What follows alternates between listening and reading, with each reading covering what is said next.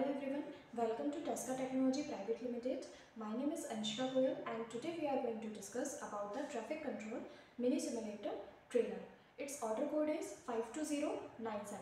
In this video, we are going to discuss about the both hardware and the software part and the working also.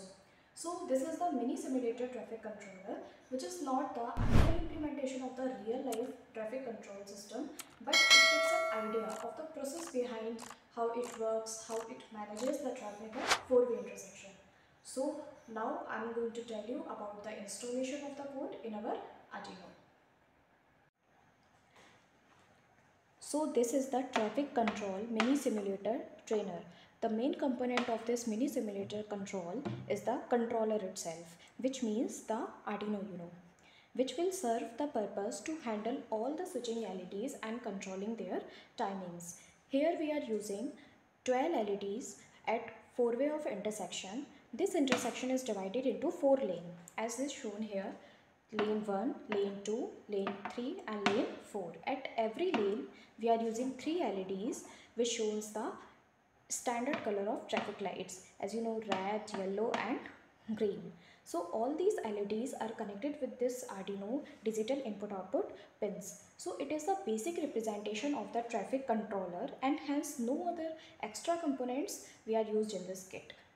So this is the information about all the components which we are used in this kit. Now I am going to tell you about the procedure of this kit, how it works and how it shows the working of the traffic lights at four-way intersection. Now we will do the working on this kit. So firstly we have to install all the drivers. So we are provided a cd to you in which all the drivers are placed. So from where you can install all the drivers and the procedure of installing the drivers are mentioned step by step in the manual also. So you can take the reference from it. So after installing the drivers properly, you will have to open your device manager for checking whether it is detecting the USB port or not which is connected to your Arduino. So here you can see that this is the port section.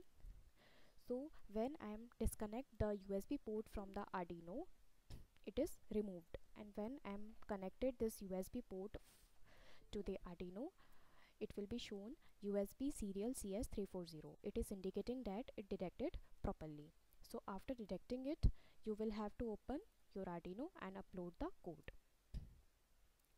So we will proceed with the new sketch. So I am erasing firstly the previous data. So I'm erasing all this. Now we will copy the code from the manual. So this is the manual which is given to you along with this kit so from here you can copy all this code and paste in the Arduino. So I copied it.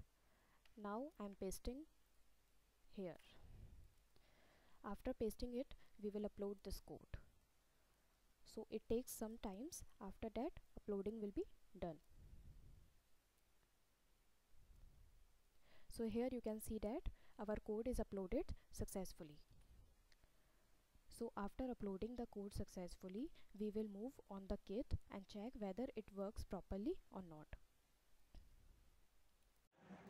So there is a four way of intersection where vehicles can approach from all these four directions. So suppose vehicles are coming from these two opposite directions then the lights corresponding to their opposite will guide them meanwhile the lights in the adjacent direction will display red signaling those vehicles to stop until the opposing traffic clears. Once the intersection clears the red light switch to green signaling previously stopped vehicles to proceed further.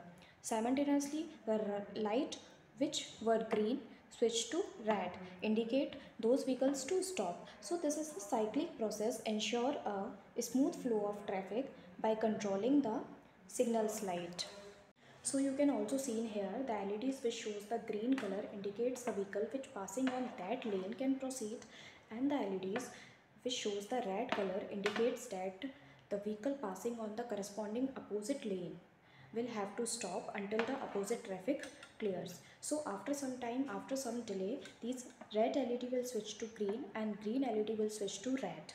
This delay is already mentioned in the code which is uploaded in the Arduino Uno. So this is the cyclic process will again and again happens and it ensures the smooth flow of control of traffic light systems. So this is the basic working principle of the traffic control mini simulator trainer. So that's all the demonstration from my side. If you have any query related to this kit, you can contact at Tesca Global website. You can find the link in the description box and for more information you can go through the manual also. Thank you for watching this video. If you like it, like, share and subscribe to our channel. Thank you.